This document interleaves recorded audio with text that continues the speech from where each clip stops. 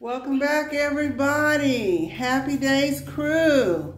Did you see that? We caught the tail end of one of the babies going potty over here on the puppy pad. Somebody went over there too. Here's the crew roaming all around at my feet. Here's our babies. Getting bigger and bigger and bigger. Purebred Lhasa Apso puppies, AKC registered. They are almost seven weeks old, you guys. Over here chewing on my feet. My shoes and my pants. They're just so glad to be out of the pen. When I get home from work, I take them out and just let them run around so they can get used to behaving well in a larger space. Because when you get home, I doubt you're going to keep them in the puppy pens all the time. At some point, you're going to let them out, and I would like them not to tear up the place once they're there. If you like watching my Lhasa Apso babies and you want to keep informed as I make new videos, I try to make them once a week, then go ahead and subscribe to my channel and click on the notification bell.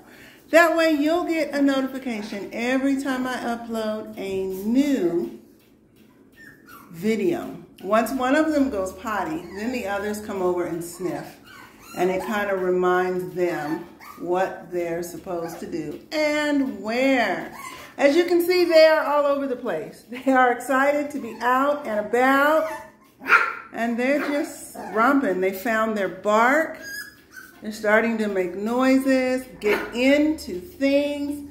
As you can see over there in the corner, Mr. Mister over there is exploring my furniture, trying to go underneath. Guess what? They're gonna do the same stuff at your house. So now's a good time to talk about puppy proofing, okay? They are just like little human toddler babies.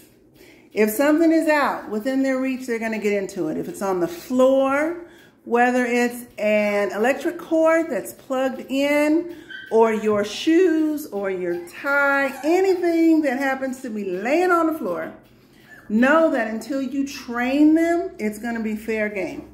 They're going to try to pick it up, chew it up. They chew on the puppy pads too. They chew on everything. They chew on these pads that are on the floor for them to lay on they just like to chew. They have teeth now and they're probably still a little itchy. So this is what they do. They're starting to try and develop some social skills. They play, they wrestle, all of that good stuff is what they do. So let's take a look and see who's who. On my last video, it cut off before I got to Richie and Ralph. I'm sorry, guys. Technology being what it is, sometimes it just does that. So, let's see. Who's this? Who's this in my lap? Let's check your collar. Green collar. That is Richie. So, this is Richie. This is Richie. Say hi. Say hi, hi, hi. That's Richie. He's getting lighter and bigger, eating everything that's not nailed down. So this one here that I'm petting, this is Richie. Richie likes to pounce. As you can see, he jumps on things. Hey you, play nice. Play nice, Fonzie. All right, of course, Ralph went way over there because he's going to be next. Play nice. You can kind of see who's trying to be alpha of this pack. Little one, come here. Which one do we got going on over here? Grumpy Grump. Blue. Grumpy Grump is Fonzie. So, Fonzie's parent know that Fonzie is going to be a handful and he's going to need some training and some boundaries. All right, let's see. We did Richie. Let's go get Ralph. Hi, Ralph. Can we get you now? Come here. That's Ralph. Over there. little blonde guy in the corner right yonder, that's Ralph. And now that I'm trying to save him, he's gonna go as far away as possible. Really? Really, Ralph?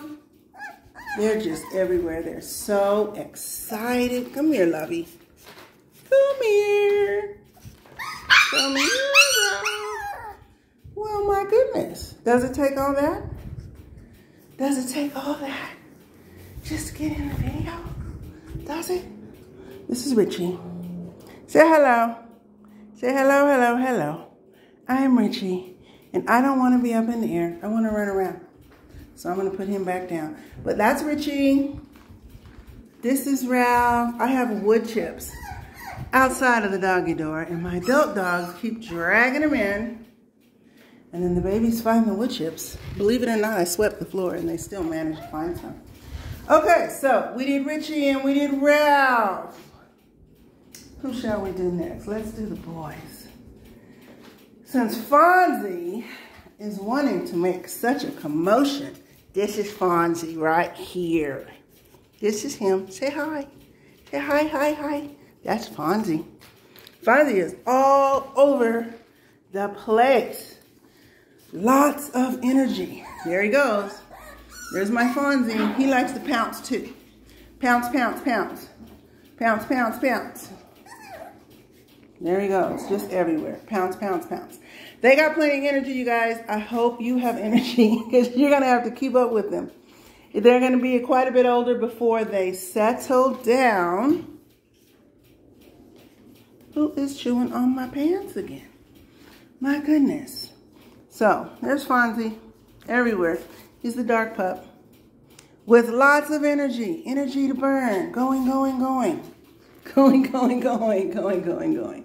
All right, so that's Fonzie. This is Laverne. Hi, Laverne. Laverne's licking my fingers. Her loves me. She still has her little swatch, black swatch on the back of her neck, which helps me remember her. Fonzie refuses to be outdone, so he keeps jumping in the way. And now everybody wants love. Look at that. I get lovies all over the place. Everybody wants to give me lovies. They're going to pounce all over you too, guys, when you bring them home. They're all going to want to give you lovies as well. Hey, Shirley, you didn't get your turn yet. This girl is Shirley. Come here, my love. Come here, my love. This is Shirley. Right here. There she is. Where you going? You don't want to be next? You don't want to be next, my girl? Come here, Shirley.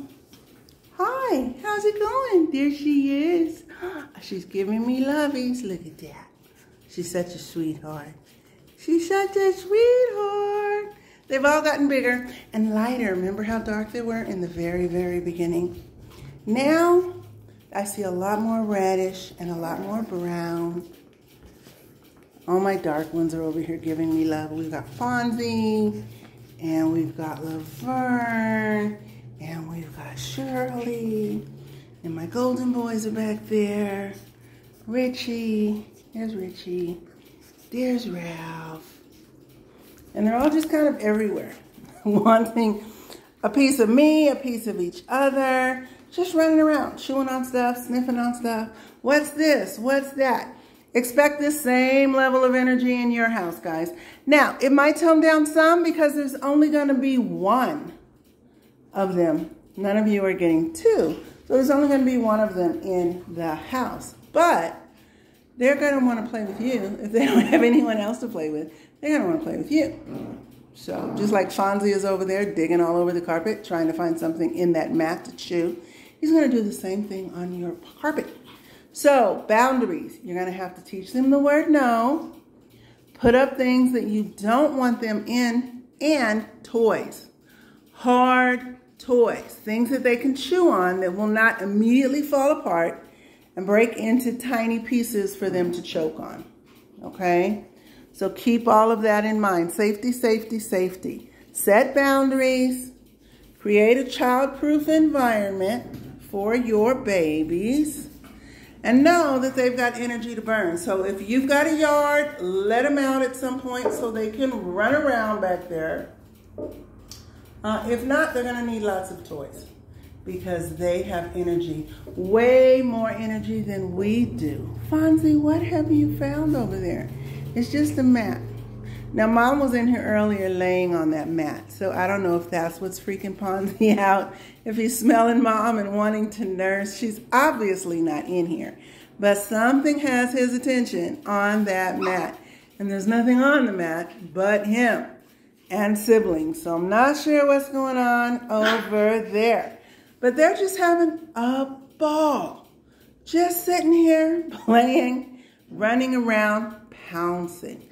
They like to pounce on things.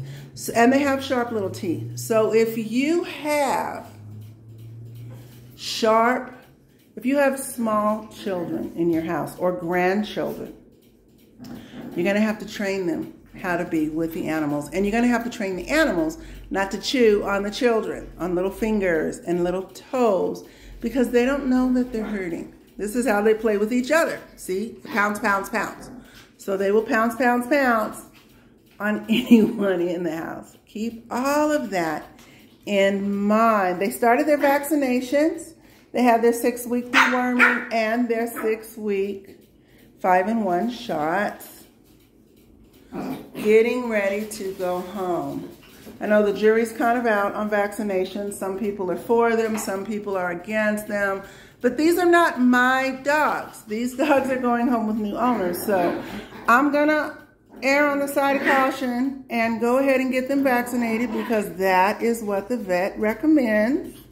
I don't give them all their vaccinations at once. I do five and ones on one day and their dewormings on a separate day because I do feel like that's too much for them to get all at once since they're just little tiny babies. They're making progress with the potty training. Somebody else went potty. There's another little spot over there. There was just one spot. Now there's two spots. Oh, no, three and four spots. So once one of them goes, then the others will eventually go over there and start to trickle too. So same thing at home.